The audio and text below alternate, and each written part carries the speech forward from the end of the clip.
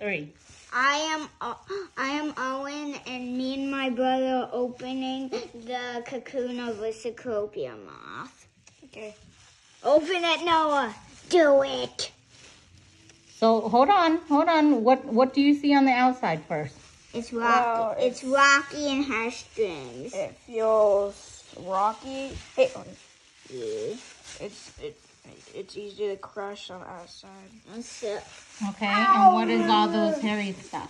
It's all the silk from from the caterpillar that spinned this. Because the caterpillar is what a type of. Is a type of moth. and when we found Silk this, we we also saw the moth. Okay, So now I, we could just cut it from here. Yes. just make a small incision. it. Hold on, right here. Your scissors is sharp. Just make a small incision from the top, but don't puncture down. Act no.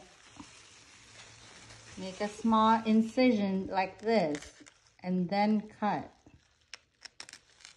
It's hard.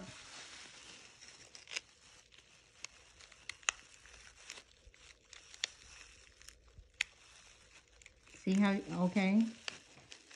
Now just Trying cut to be along, very yeah, careful. cut along the top so you don't puncture I the can't see no one cut Hold it. on. Oh. Don't don't push your it too far down.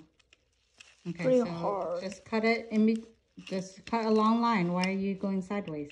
Cut a long line down to the bottom and then cut a long line down to other see you're cutting to the side instead of down. Trying to make a small hole Let's see where you what's can kind of there. stay inside. Oh, that's fur. Yeah, it's String. yeah. What were their layers? Actually, I can peel it open. Can I peel it open? Hold on, let me see what's inside. So we pulled open the first layer, yes? Yeah. Yeah. What is sure. the first layer supposed to do? Just to protect the Caterpillar. inside How? by blending in as leaves, and it's like hard. Okay. And why it looks like it here, you want me to finish cutting it? Okay.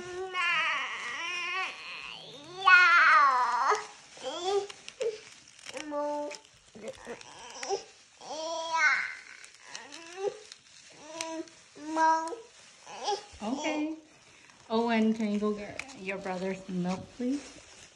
No, he See, probably there's- wants it his toy. There's a small air pocket right there. What do you think that serves?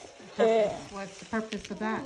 it uh, something about the winter freezing and stuff. What do you mean by that? Can you explain it to, to the people watching? Tammy wants.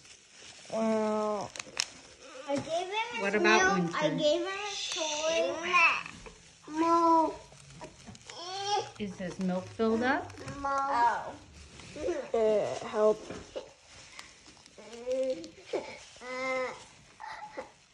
It prevents the caterpillar from freezing Because why? Why would it be freezing?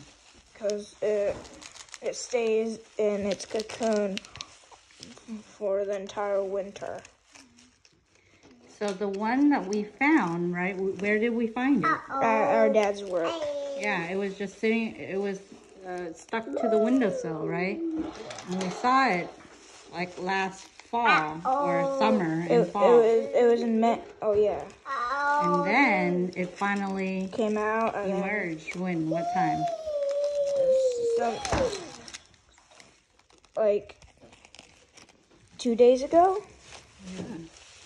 And now we're deciding to open it up. Okay, so let's put it down and let's see what we got so far.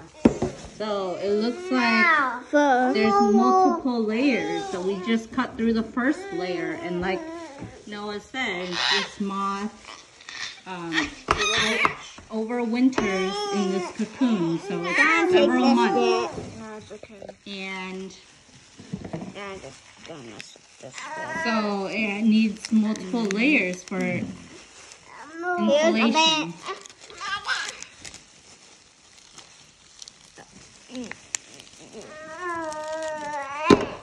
Uh, Lily gave you milk and you found it. Okay. Now the caterpillars. Okay, let's put it down so we can see it. So this is the outer layer right here, and this is the inner layer. Okay, put it down. So we can see there's the outer layer.